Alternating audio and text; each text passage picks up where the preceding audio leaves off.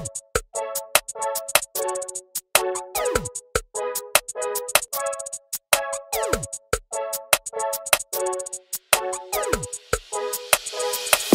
back, everyone. This is episode five of the Weekly Juice podcast. My name is Ryan Bevilacqua. I'm joined alongside here my co-host Cory Jacobson. Today, we're going to talk owning your own business and managing your time through real estate. And uh, before we dive into things for the episode here, Core, what's new, man?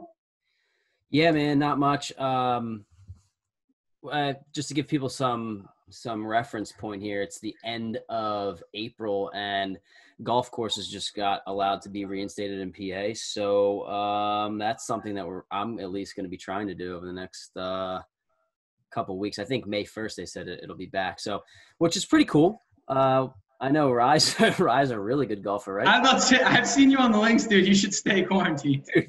First of all, it's bit that was two years ago when you and I shit up the course at wherever we were. It was a joke. You've been practicing?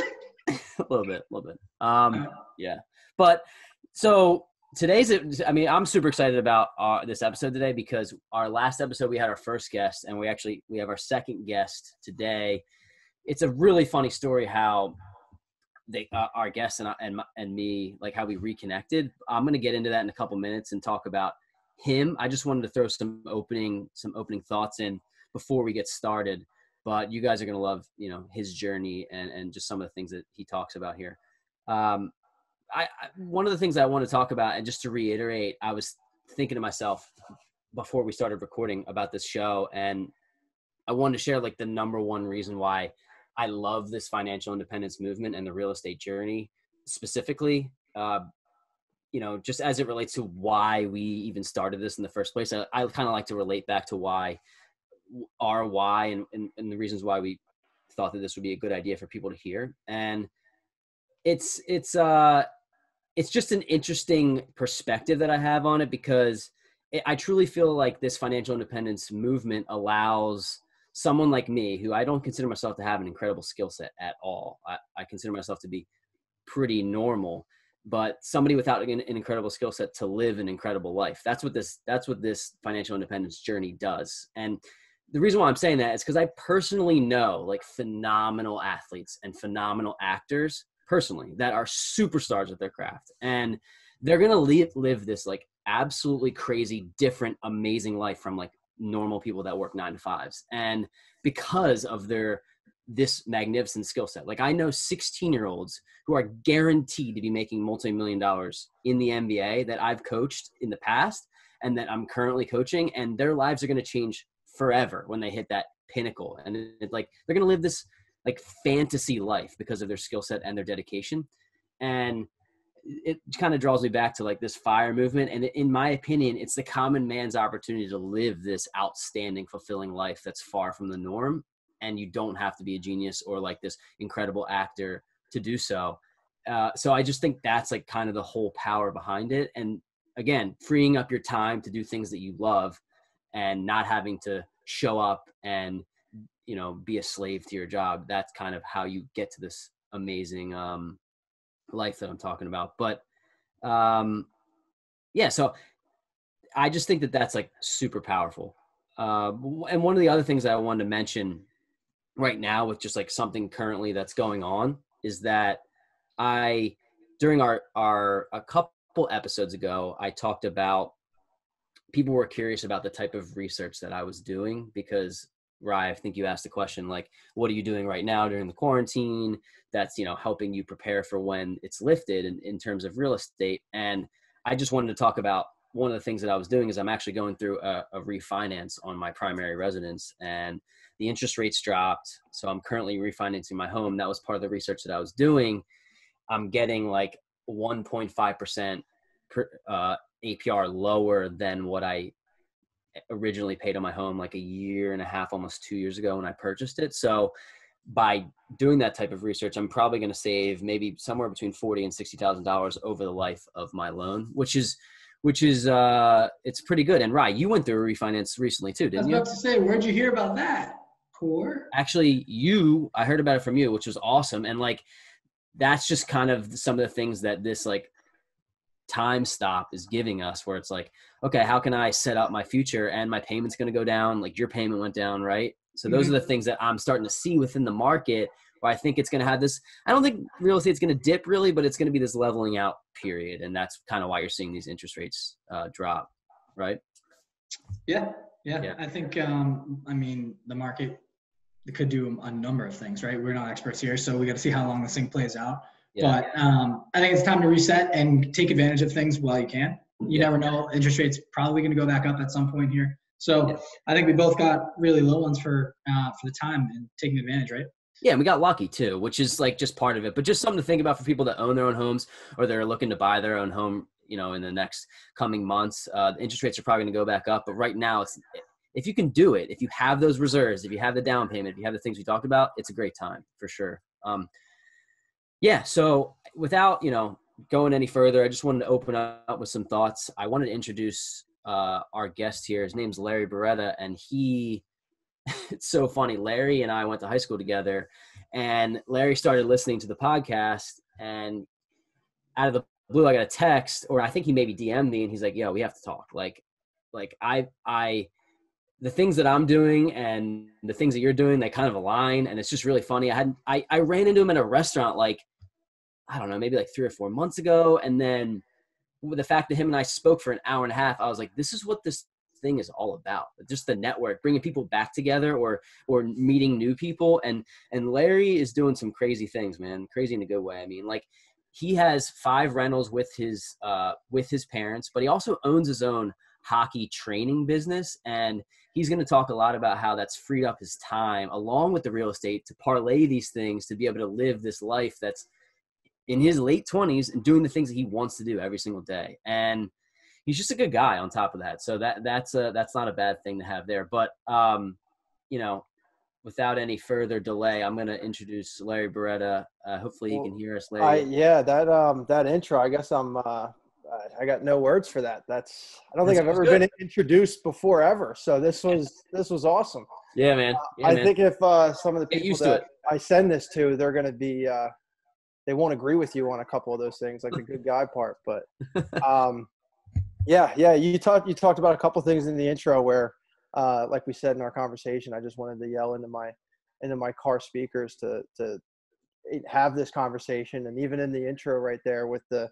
the golf, the young athletes, um, you know, the time spending and and uh, in this quarantine, it's uh, yeah, it's it's crazy. So I'm excited to do this. This is something that I've looked forward to for a while now, and uh, that's awesome. Yeah, yeah. So why don't you? Um, Thanks for um, having me. I think I got to say that. I got to absolutely, sure dude. Thank absolutely. You. This is the first here. of uh, this is the first of many times that you'll be on the show because I want to back you in a year, two years, and see what your journey's like. That's yeah. what it's all about. So I, I think first and foremost, we want to just tell, just tell us a little bit about yourself. Um, I know I mentioned we went to high school together, but a little bit about yourself, your background, and how you got into owning your own business and how you like kind of see real estate and financial independence playing. Yeah, it's it's. I mean, it's it's interesting. Like the whole story is interesting, and um, you know, it's nothing like super crazy. Luck's involved, but you know, obviously hard work. But you know, we went we went to high school, graduated 2010. Um, went to went to college at Penn State Berks. Uh, this was right when the whole bubble happened, so everybody was going to state schools. Um, you know, I might have got into West Chester if the the applications weren't if there weren't as many. But bottom line is I had like Penn State Berks and that was it. Well, I played hockey, so I was like, well, Penn State Berks has a hockey team, we'll go there. We were one in twenty two our first season. So really? like, yeah, um, but yeah, that was after winning a state title in. Uh, at, we didn't win the state title. We won the Flyers Cup. We went to states oh, and oh, we right. lost, and I had like the worst game in my career there. So I mean, all right, we won't talk about. Yeah, yeah. So, but uh, yeah, one in twenty-two season, and um, but you know, we I was I loved it here. I loved it at Penn State Berks. So I ended up staying all four years, and um, after that, I took a job uh, with JB Hunt, and um, was relocated around like Central PA then was over in New Jersey, was hopping around a lot. I did that for like 18 months. And then one day I was just like, this is, isn't what I want to do. And I started coaching when I was in college, just like Saturday mornings, helping out with the little guys. And, you know, then eventually it turned into me giving lessons to some kids and it grew into this, this, this, you know, this hockey school. And one day, like I said, I was just sitting in a, in a desk chair, and my shift was 5 a.m. to 2 p.m. And I was like, this this isn't what I want to do, right? Like I would do this if I needed to, but I have the ability to to take a take a chance, take a risk, and a lot of that is because of real estate. So, um, stopped working JB Hunt in July 2016. Started Go Hard in August, and I've been going going strong with that until this quarantine. And you can't, yeah. and there's no ice rinks open, so can't teach yeah. kids how to skate. But um, you know, it's been going well. Um, but a, a, a, big reason why, like I said, is because the real estate and. Um, how did you get? Um, so how did you? I have a couple questions on that. Like, talk about the fortitude to actually start yeah. your own business. But how did the real how did you parlay the real estate and like you I remember you saying on the phone something about how it's almost like you fell into it in a way. It didn't have, 100%. Like, have to do with um the housing. There wasn't housing or something, right? So so it's it's so funny because like 08 that that whole market crash is the probably the only reason that I'm in real estate and I wouldn't say I'm successful in real estate, but it's trending that I could be right, right? like it, it I've, I've put in the time and the and the initial investment but you know i didn't do that myself it was my parents who really did it and i kind of forced my way into their their company so yeah. the way it happened was i you know applied for penn state berks and you know i, I didn't want to commute to 45 minutes from exton to to Wyomissing so I tried to get a, a dorm and the, the wait list was ridiculous. Like just you're not on the cuff, you don't have a chance. So I said, Mom, I got nowhere to live. And she's like, Well, you know, your father and I think that, you know, we want to, want to make another investment. Maybe it's something where we buy it and you can get the tenants. Well, I mean, you know, we had high school buddies that were going there um, and then other guys on the team. And I was like, yeah, no brainer. We saw one place um, walked in, walked out, and I was like, well, that's where I want to live. So we we we bought the place in July before I moved in. I remember that the my roommates were like, like, is this real? Like your parents are buying a place and we're gonna live there. This doesn't seem like it's actually gonna happen. I'm like, yeah, like settlements in July, we'll be fine. well, we moved in in August. Um, and then after that, two years later, I'm like, mom, there's more guys on the team that need places to live and there's like 90 some units in this this condo complex. So uh, they bought another one. And then when i graduated i'd worked all through college um, like you know all odds and ends jobs whether it was coaching or or i worked at the bookstore at one point. I don't even know how to read so the fact that i was at the bookstore was crazy. But um, you know i i always was hustling through college and i had some savings. So you know my parents were two years again and, and there was another one for sale. So we bought that, had more people that were interested in renting. And then another two years, 2016, when I stopped doing Go Hard, another one came up for sale. And then recently, uh, back in May 2019, um, we bought the one that I'm living in currently now. But it's just, it like fall on your face lucky in that sense, um, where, you know, we, we walk into one door where I end up living all four years in college, having roommates, and then that turns into the condo complex that's helped us build our real estate portfolio. So cool. kind of nuts. You did like the house hacking type of, um, I get, I guess the the term that we use where it would really be your parents to start out, but the, your parents bought the place, you paid rent, and then you were subsidizing the mortgage with the other two guys that were living there, right? Yeah. So so it's funny because when you when you guys were talking about that, that's the first thing that I thought of, and you know my typically parents pay for the kids rent right in college if if you're lucky and and you know maybe there's the but for for me i was lucky enough to have my parents pay for my siblings and they kind of hacked it. They said well i'm not going to pay rent to some landlord. We'll be the landlord and he'll find the renters. So you know day to day wise they weren't really handling anything. It was it was me and I loved it because I didn't have rent or had loans that was going to pay for the rent and years down the line I had to pay it back. So, um, you know, they hacked the college rental, you know, for say, and then and then it turned into the business with the second, third, fourth, and and then like the fifth one here, we bought and we're living in, but it was we're fixing it up, we're getting it ready, and then when we move out, it'll stay a rental. We're not gonna we're not gonna sell it. So at what point during the uh, during the time where your parents were buying rentals, did you jump in and start to partner with them? Was it it was halfway through at some point, right? You were like I mean, i always told I always told everybody that I was the owner like in college. Like you know, like I was the cool guy in the apartment where they're Right. like, "Yeah, he owns it." And I was like, "Yeah, I own it." But I didn't own anything. right? I just said it. So I always knew I was like, I want to be a part of this. And the second one happened, and I was obviously in no way to be able to contribute capital uh, wise. The third one, I had money saved. I had money from, you know, uh, grandparents and um, working stocks that I put, you know, so I had money, and I was like, all right, well, I want to invest in this. And then the other one was just I saved. I mean, you guys talked about some of the, the ways to save.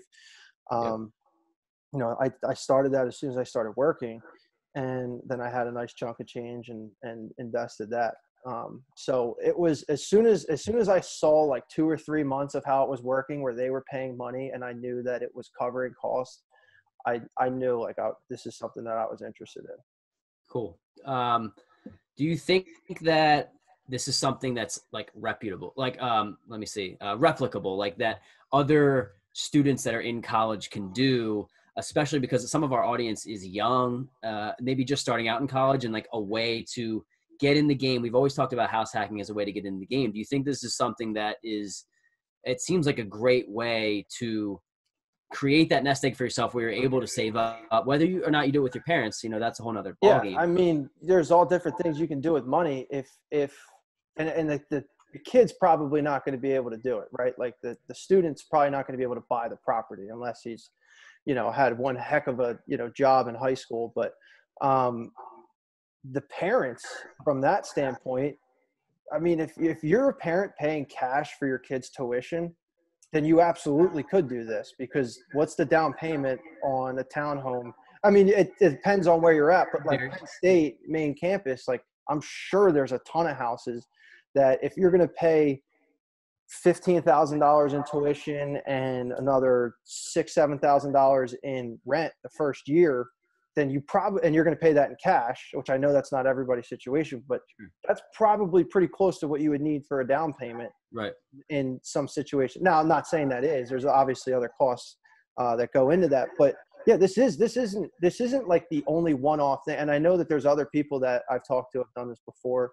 Um, it's funny you say that because a buddy of mine who lives in this area, he was he. I remember my freshman year. He was like, "What? So you own?" And then he was like asking me a thousand questions, right?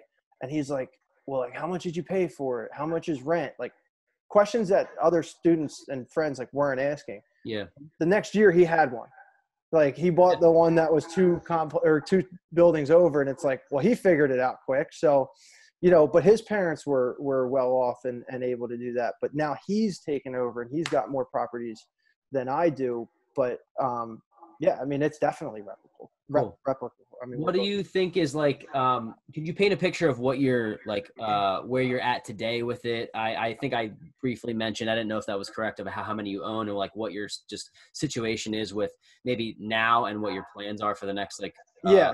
the upcoming future. so um, obviously it's my, it's my parents and I. I'm I'm the oldest of five, so it's me and my mom and dad are like the two entity or the two people of the company. So Yeah. um, they I don't own more majority; they own more, but um, I have ownership in the company, and then the, and then the other kids have like their slight ownership as just the kids of the, the of the owners. So um, yeah, from from the plans for this, I mean, I, I've talked with my mom and dad about getting more ownership through time, or you know, we just continue to build, you know, unit after unit with the same percentage cost. But then I also want to branch out and do something else. Like you know, we've talked before in that conversation about other areas. So I don't want to invest in Penn State Berks off campus housing and have all my eggs in this basket because if Penn State Berks, you know, one day decides that they're not going to be having off-campus housing, I'm in. I'm not in trouble. It's still real estate, right? Yeah. But my niche You is want to diversify, right? Yeah, so I want to diversify. I want to get into something that's a little bit more creative. I mean, this right now doesn't have too much, you know, it's it's kind of cookie cutter here. Like buy the property, they all look the same. Yep. They're they're they're all two, you know, mostly two bedrooms, and they're all the same rent. Like I want to do something that's a little bit different. Maybe in town, you're renting to young adults um, who just got started and stuff like that. So um, it's uh, you know it's something that it, I don't really have a true path of where it's going, but you know, you talked about trying to buy one a year or something like that. Yeah. That's definitely something that I think about all the time. We were on that two year plan for a while. Um, but you know, it's things happen like this, this doesn't help with yeah. the situation. No, exactly. But it's cool that it won't like mentally derail you. You kind of know. No, no, no, no. This is, this is not something that like, I mean, obviously it's scary because you don't know what's going on, but this wouldn't make me not want to invest in real estate yeah. by any way. By I have a question jumping on that. Um, I was just gonna say, Ryan, I didn't mean to shut you out. If you had some questions, you can. Yeah, yeah, yeah. I'm still here, dude. Thanks. no, um, so, quick question. Uh, I'm going to a bunch, but what's the thought of investing through a company rather than um, just under your personal name? This is like something that I don't know. I feel like I hit gold when my parents and I talked about this. Like, because technically I'm renting from a company that I own right now. Right. Right. Like the place that I'm living owns this. Uh, the place that I'm living is owned by the company that I own, so I have to rent from myself. Like Tom Petty had a song "Be a Landlord and a Renter." Well, that's yeah. like literally what's going on right now with myself. So it's it's unique and it's funny because like the business it opens it up to a bunch of different things. So so as far as business lending and stuff, I know very little bit. Like we nibbled at it with with the most recent property, but it's like a whole nother world. I mean, obviously down payments are more. Um, you know, there's different rules and and you know terms and contracts. Like you get 20 year loans are probably are more common. And but um, you know, personally, you you assume a lot of risk when you do something like this. So one of the first things that we wanted to do once we kind of settled down and you know we were done buying a property every two years and, and things weren't as chaotic and i was sort of out of working a nine to five job and i had more time to focus on the real estate. And you know one of the first things we said is we need to make this um, you know a business not just us doing something for additional income. So mm-hmm. um, you know the way that we do it is each property is its own company. So it it limits the amount of risk because you know if something god forbid happens in you know unit 407 you don't want unit 603 to be on the hook for something that happens so each each property is its own individual uh, entity and then you know it's owned by the parent company which i highly suggest anybody does. If you're going to go and invest and rent you need to get with the, the way llcs are now you need to go i don't want to say need because i know you guys are very suggestive and you don't want to force anything on which i think is great but it's a very good idea to get that llc because you don't hold the liability which is it's scary you don't know what night you're going to sleep and you know you wake up to something that's awful you want to know that you're covered and it's not going to you know jam you up down the line because you didn't get an llc yeah by the way it's like it's like 50 it can be like a hundred bucks to get an llc too yeah so. i don't i mean i've seen all different prices like i think typically we're around four 450 we did a bunch of them at once so yeah. we got a, a little bit of a discount but for for the peace of mind and knowing that you're protected it's it's not, it's the cost of doing business. Can you go into that protection just a little bit for people that aren't too aware? I don't know how much you know or how. So I mean, in terms of what, like if something were to happen, or or like how yeah, it's so, structured. Mm-hmm. Basically, so, like the the process of getting one, and then also like what it protects you against. So you can go to LegalZoom and get an LLC. That's what I did my my hockey school with but I don't suggest that. Go to a lawyer, go to somebody that you're comfortable with or somebody that you know who's comfortable with and they'll draw you up the LLC. I don't know what, you know, a lawyer it is that needs to do that, but you go, you tell them, you say, I'm renting a property, um, you know, LLC, you know, I need an LLC for it. They probably do it for any real estate guy. I mean, th- th- I've talked with guys that flip houses. They get a company for the house that they're flipping. Right. Like they're, they're that, you just, that's the way that you're, you, you do it because it, it frees it up. So as far as a liability, from my understanding, if something were to happen in one of those units, like a slip that, and fall, you mean? A slip and fall, something yeah. like that. Like I, you know, if something were to happen in one of those units, that unit is the only unit that's on the hook. Yep. As instead of if it was one company that had five different units, it's looked at as you know, if something happens over here, all of them are responsible and then depending on the situation you could lose all of it which is that's scary. And then if you're by if it's under your name and not a company then you're on the hook for it so. yeah so you're on the hook for it. Like like if something were to happen in if if i didn't have any llcs if something happened in on the ice it could threaten a property i own. Yep. So my hockey school is an llc so if anything happens there they can only come after the company. They can't come after me so, I mean, I, I, don't really see why you wouldn't get an LLC as a sole proprietor now. I, I mean, you sit in business class and they say, you know, here's the different things that you can do if you wanted to start a company. To me now, now that the LLC has been around for I don't even know how many years, but a decent amount now, like that seems the way to go. You're you're freeing up liability um, on yourself, and then you know you're not tying yourself up with double taxation eh, that you get with corporations and I mean, anything that we do, we do LLC. Cool. I think, um, by the way, that's great advice. I, I need to take that advice. I need to have my next property, which I'm already starting to work on. I need to, I need to get an LLC for it, um, and kind of create an umbrella policy. But yep. you mentioned in there, you're talking about your hockey school, and I'm just, I wanted to tie this all back together. I mean, you know, Larry talks about all the time how he kind of like he won't say this, so I'll say it for him. But he kind of broke the stigma a little bit of, you know, he self admits that he doesn't, he didn't go to like an amazing school. He wasn't a, an Ivy League or a 4.0 GPA type student, but he's a business owner and he's a real estate investor through that. Um, so I just wanted you to talk about how, you know, a little bit, talk a little bit about your hockey school. You know, what made you start to decide it? Again, this podcast is a lot about happiness and freedom of your time. So how does the real estate, uh, uh you know, give you the ability to have that freedom and invest money into yourself and into your hockey uh, school training school. When i when i decided to do the hockey school i never i never thought like once it became a, a, a possibility that was what i was going to do. And i didn't second guess it for anything because of real estate. Like if i didn't have real estate i don't i probably still would have done the hockey school but all stress and confidence going into it was because I, I knew I had real estate backing me. I mean, at that point, I had uh, a percentage of two properties, right? Because we, I had the one that we bought when I graduated college, and then I had the one as I was I was leaving um, JB Hunt. So I had two properties that didn't have full ownership, but had ownership in, and I knew like, okay, well, if anything terrible happens, I have my real estate.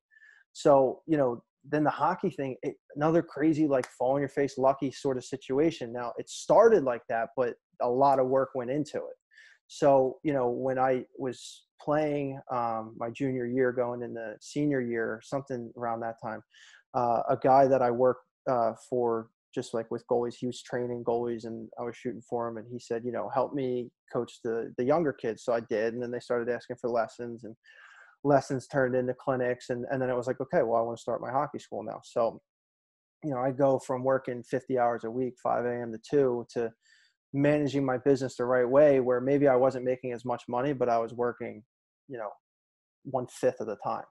So you talk about and, and i'm and i'm living closer to my parents i'm not commuting 45 minutes to work like you know i was when i first started the business i was four minutes down the street and i am now and you know i was working what like hour maybe two a day depending on what ice time was available at the rink so yeah weren't you saying i don't mean to interrupt but weren't you telling me that in theory you could make you could go on the ice and this is just the avenue that you decided to take you can go on the ice and make you know a hundred bucks an hour or something like that and work a couple hours a day and you're making more than you made you know working eight hour days you know 45 50 hour work weeks right? Yeah yeah so i mean it's not every hour you're making a hundred bucks but anybody in training understands that you know that's possible right? So you know if it's a clinic i'm you know i'm doing better than that. But if it's a solo lesson i'm not. And it's you know it's all give or take. But you know i could do a, a you know a team workout and and go out for a team and they could give me a check for x amount. So but yeah it just kind of came down to it. It's like why am i spending you know hours on hours making you know even if it was like 21 bucks an hour uh, what it broke down to in my salary working 10 hours a day when you know i can work one not make as much but not be nearly as miserable you know and and like things change when I, when i started my my company like you know i ate at home more i i didn't have you know i didn't go out and drink nearly as much i was never a really big drinker um yeah, I had my little phase, but you know, it's not like I'm going out and drinking. We all had our little orbit. Yeah, yeah. Everybody knows that phase. if you're in your late twenties, you go back and you think of that year. That's still in the phase. Yeah. so so like that, and you know, like little things. I just started cutting, and you know, I started saving more money. I was happier. I didn't have the urge to like need to go to the bar on Friday night because I just, you know, was gouging my eyes out from Monday to Friday. Like I was, right. I was happy with what I was doing. So I felt like I didn't need to go and, and give myself entertainment. Yep. Um, and that's what hockey was. Like the reason I really got into it was, I mean, the opportunity, but I remember my dad, like the last day he played football, um, you know, division three and, you know, his jersey's retired at like homing, like unbelievable idol. Right. And how hard he works. Like I can't beat him in basketball today. He's 55 years old and I think this is supposed to be my prime. I won't play him because I don't want to be embarrassed. so like he emulates work ethic and and like effort and anything. So whenever it comes to sports, I'm all ears. And one of the one of the last things he said about me with my playing career is he said, he goes, you know, you kind of already started doing it, but he's like, pay it forward, start coaching, whether it's just with a couple, you know, whether it's with a team or, or an organization that you're helping out. He goes, give back to the sport that gave you so much. And I was like, wow, like that's, that's insane to think about, but like, it's so simple, but give back to it. And that's what I've been able to do. Like I have relationships with families and kids that I would have never in a million years guessed that we would create that kind of connection because, you know, they, they pay me and they support my business to do hockey lessons. Like yeah. that's nuts. Yeah. So it's it's unique, right? Like somebody listening to this probably isn't going to go start their own hockey school, right? But there's something out there for everyone that they can find that, and and if they really want it, like you do have to work. Like, I worked for it, and there's nothing more frustrating than when somebody calls me up and they're like hey you know like i was just thinking like i'm gonna i'm gonna do what you do i'm gonna i'm gonna start doing lessons like you and and uh, you know just tell me like how you usually do it i'm like okay, well, you got three years because that's how long it took me to really get going. Sure. Like yeah. it doesn't just happen overnight. So you got to put the work in. Even though I fell on my face lucky, it's it still was years of of work and building the reputation. So would you say that the the real estate that you did, keeping uh, keeping your expenses low, getting into real estate young, the combination of those things allowed you to mitigate the risk to jump in head first and say, okay, like, you know, you thinking yourself, Larry, like I, I can go do this because I know how much I spend and I know that I'm supplementing my income through the real estate business. A, a, a, thousand percent. I mean, as as far as living costs, when I was living four minutes down the road, so when am I filling up my tank? Like what? Every two weeks, maybe. Um, That'd be nice. They were, yeah, they were. Um, no, I had I had friends that were paying the rent. We lived in one of the units, so I had three of my buddies that needed a place to live. They were paying the rent, and you know I had cable and electric. That was that was my bills for the week. So you know, I, and I and when I was living in and working for JB Hunt, I was working with my uncle, which was a huge help, obviously in savings, right? But I was driving a lot then. Like you know, it was New Brunswick. I was I was working, and I was still coming back to Wyomissing, which was you know an hour and a half, hour. New Brunswick, New Jersey. Yeah, so I would drive I'd work 5 a.m. to 2 Monday to Friday. Maybe You're driving 100 miles. Yeah, it was 100. It was it was, and I had a Ford Explorer, and it was trashed by yeah. by it was done. It was done. So I totaled that in just miles. So I drove from you know up in northern New Jersey, drove all the way down to Wyomissing, maybe hang out with my buddies on Friday night, stay over at their place, wake up Saturday, go Saturday 8 a.m. to 1 p.m. coaching at the rink, um, for their program. Then I'd maybe do a lesson that afternoon, hang out with my buddies at night, go to my parents, and then Sunday I would, um, you know, go back and, and run lessons. So so that's how it started. Um, but yeah, I mean, it came with a hundred mile back and forth grind of driving, and uh, but I mean, I would do it again in a heartbeat because it's yeah. it's got me. So it seems like you found, yeah, I got a couple I mentioned. Um, you know, found success in, in a couple different avenues here. First, I wanted to dive in on the real estate. Um, do you view these properties as like long-term buy and hold? Are you basically having them for just cash flow per month, or you guys looking to flip these for a nice profit here um, in a couple years? Um, for for me, this like this is long term. Like this is, I don't, I could never see a day that we sell these. Obviously, that's probably going to come, right? But the thought of selling one of these is just not in my head. Um, it, we we have one that that we live in that we bought and we fixed up a little bit, but we're I mean typically you know they're they're good to go. You buy them and they're ready to be rented. Some of them might have been rented last year, and you're just switching investors on this, or you know you're buying from an older couple that uh, you know for whatever reason they're selling. Maybe they have steps and they want to get rid of them, but you know their place isn't touched. It's all outdated, but what's a college kid care, right? Like I can right. just charge a hundred less dollars than I would in the nicer unit and not have to put any money into it. And they're yeah. like, yeah, that's fine. I don't want nice things anyway. I don't want to risk breaking it. So, you know, and, and it's all different. You got to know who you're renting to. And some college students do want nice stuff. But yeah, these are all long term. What I want to do, what my what, what I want to do in the near future, and it's funny you guys talked about it, like the the market. I personally do feel like there's going to be a, a dip. Like you talked about plateauing core. I, I agree, maybe overall, but in some certain situations, I believe that there's going to be a dip that some people are going to have a real opportunity to bite on. Yep. And and that's where I kind of want to make my next move. Now, not coaching right now, not making money, obviously doesn't help that situation. But there's there's savings, there's other things that I have that if I really wanted to take a risk, I could. And and right. there's that's what I wanted. I really want my next step. I think is buy a place that needs some work, fix it up, rent it out, refinance it, do it again. Yeah. And Core, we talked about that. Like that's one of your visions as well. Like that's kind of like what, what was the acronym that you had? Yeah, so it's um it's called the BRRRR method and the uh, BiggerPockets, which is a real estate investing network. They There's the book right it. there, kiddos. Yeah, so there it is. It's a uh, buy, rehab, rent, refinance, repeat. So essentially, you're buying a property. The you're um, you're rehabbing the property to increase the value of the property. Um, you're refinancing the property at the new value, and then you can uh, pull money out of it.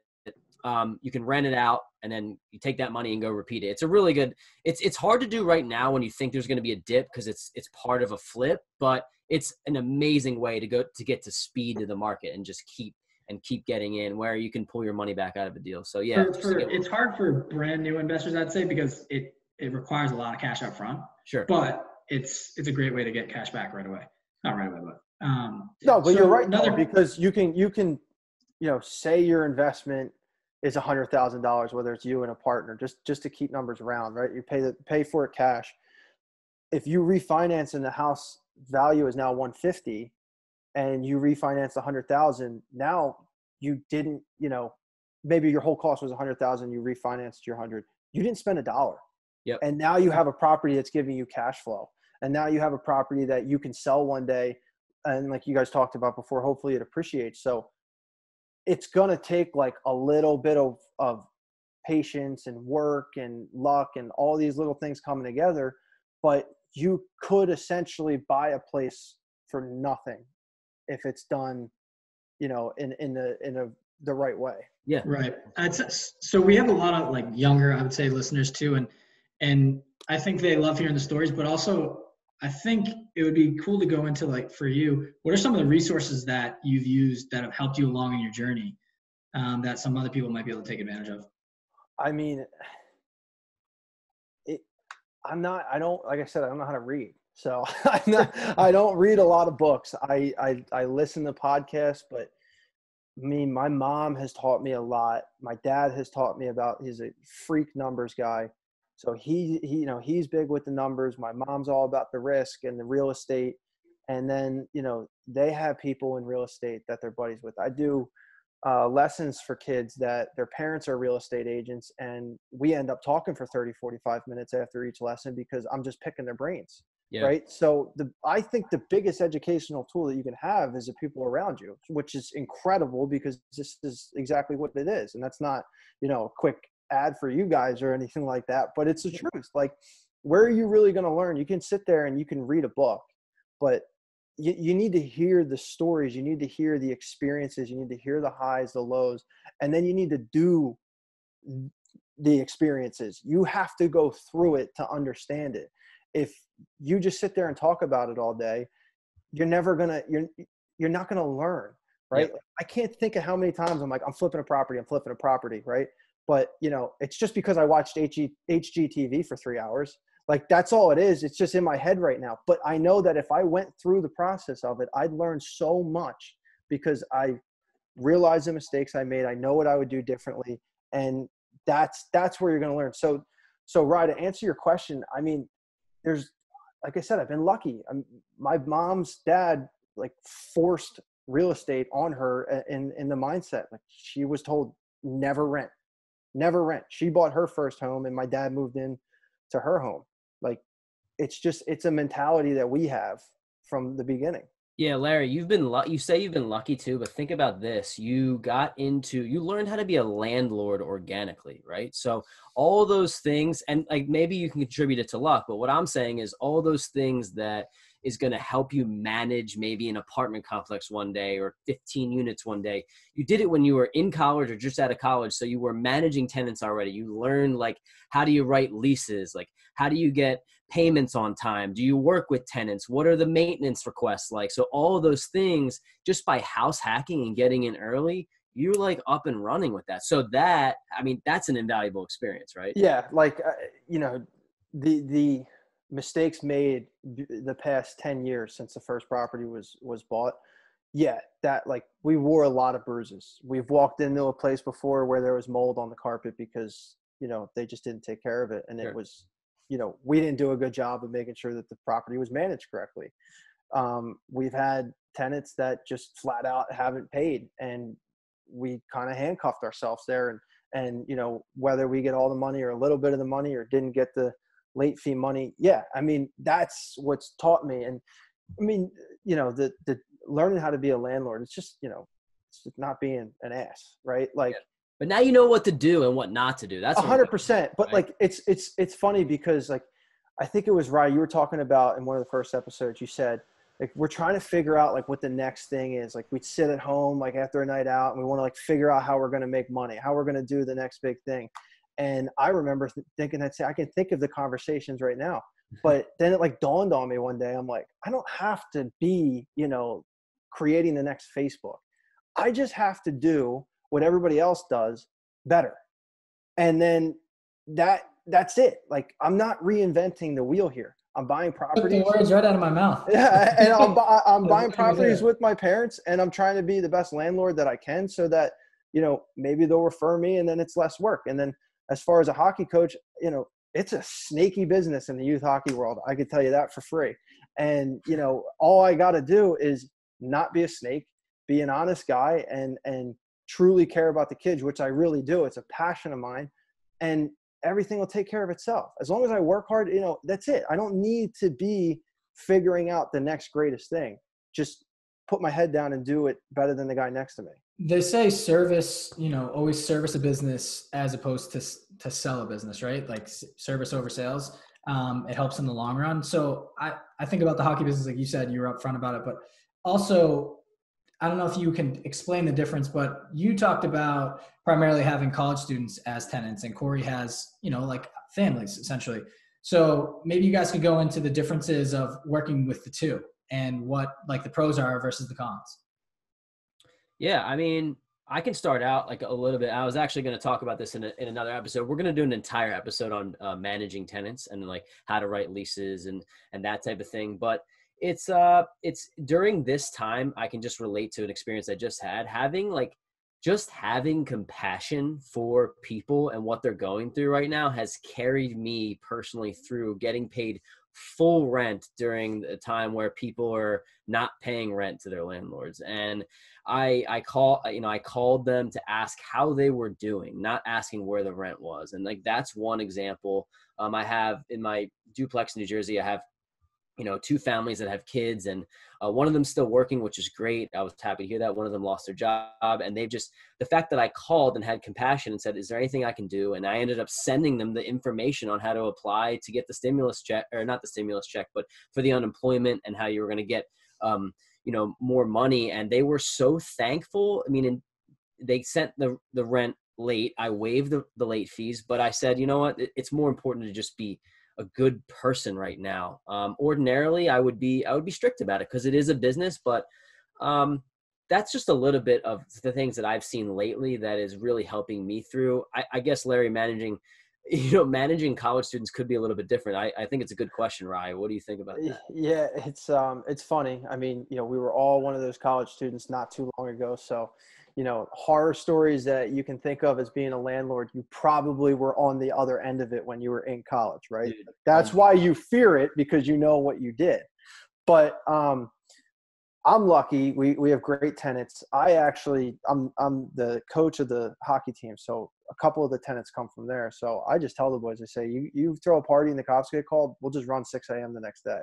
Like you know, so that's, oh, that's something that tool for you. Like you bring kids that you coach, right, to live there. Right? That's yeah, awesome. I give them first. I say, you guys tell me what apartments you guys want, and they're yours. Like that's a plus side to being on the hockey team here. But you know it's it's also helped me in the sense that i can kind of always keep an eye on on my tenants and and stuff like that because you know i remember being in college our coach was the last one to know about it after the school found out right. i know about it because the cops get called and, and i get an email to to me saying that this unit had a party so they know going to bed if they did something wrong that they're waking up to a phone call from me right, right? so that's a unique situation but um, there's other you know there's it's it's funny that you said you know being compassionate and stuff because you know there's this weird feeling that your landlord is supposed to be an ass right like he's supposed 100%. to be or she's supposed to be like just not friendly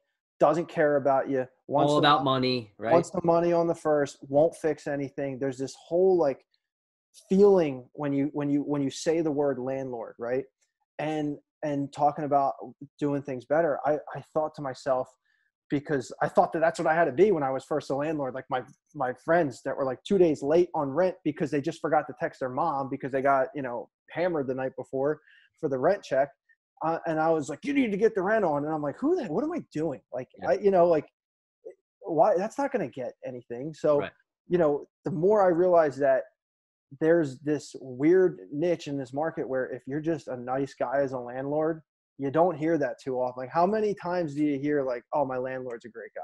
Yeah. No, it's so true, Larry. I think uh, uh, just to go off what you're saying, I think one of the things is like there's a big difference between being the nice guy and letting everything slide and being and having rules that people need to follow because you do run a business, but then also looking at the humanity aspect of it. So what I'm what I was relating into is like the whole COVID situation right now, but I would say that, you know, for listeners having a, a system that rent is due in the first you have a five day grace period and then holding your tenants accountable and saying i am going to charge you to uh, late fees and i am going to do these things but doing it in a way that's like look i'm just running a business and yeah. Know, also being a nice person right exactly and and and that's like that tough part where I, i'll attribute that to you know my dad he's a salesman and like the thousands of phone calls that i've heard him deal with problems or people not getting something done the way that he needs to get done, but you know he can't snap on them like the way that he talks. And then he hangs up the phone and he snaps on me,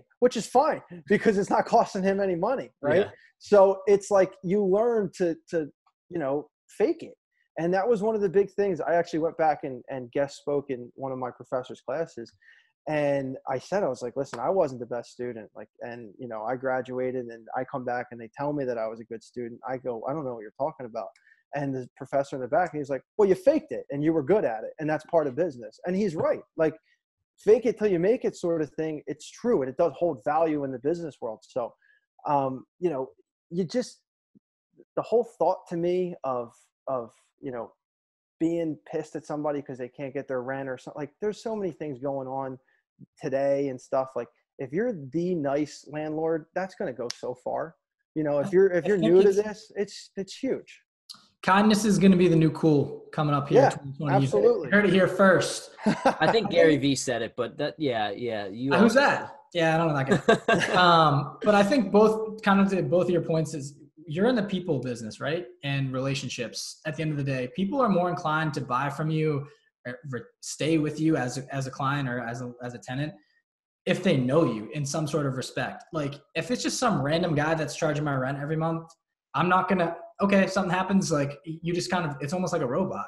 But if they know like Cory or Larry's my guy, like especially you, you talked about your your um, team or teammates and the kids. Uh, I if it was you and I knew you owned the place, I would not trash it. I wouldn't want to. I'd be like, yeah, exactly. You feel a type of way about Respect it. You level. take care of it.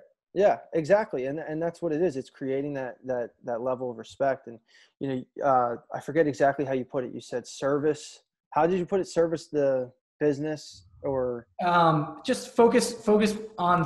It's not always about the sale. It's about about the service and taking care of people. Yeah, like the sales will take care of themselves if you take care of the service, which you can control, right? So it's it's with anything like my hockey business. As long as I'm connecting with the individual kid and then with the parent asking them and then remembering you know what uh, you know we talked about the week or two weeks prior before that connection you know that's what's huge. I mean i, I got parents asking me to facetime their 12 year olds to ask them how they're doing. Like i would have never have thought that parents want that but you know i'm i'm i love it. And you know one of those kids from a week ago that i called texted me today and he said hey coach.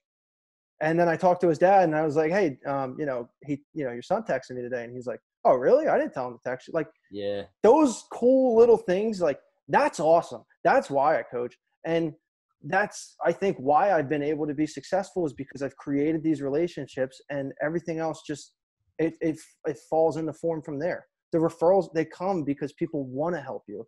People want to continue to do business with you and they know that you need to be successful to keep doing your business so they do that for you. It's not hard. Yeah. i'm not a smart guy. I don't really have any clue on what i'm doing until i'm actually in it. So if i can do these things anybody can. As sad as you know, I don't want to. So funny, man. Because Rye, you talked about how we're the podcast is like an unconventional way to network, and and this whole conversation is it happened out of an organic way to network. And what Larry's talking about your network, it's not like putting on a suit and tie necessarily and going to a networking meeting and handing out business cards, right? Like that's like that makes my skin crawl. And sometimes I have to do that stuff for work, but it's like how do you create the network where people want to come to you and you're just it starts out with being that nice person that people want to do business with. Um, i think we have time here for a couple more questions. Uh, i know maybe rye has a couple more. I have one that i wanted to focus on specifically because of just the nature of our show and i, I want to know larry what, you know what makes you most happy in this world and what are what are things that you're doing daily uh, to create that happiness level to you know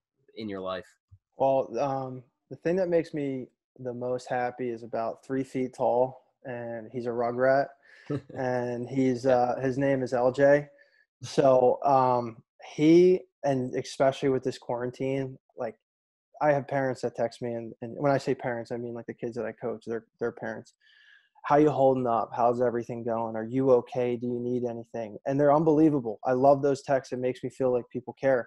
But I'm like, I'm great. I'm spending every minute of every day with my son, and I know I'll never get this back.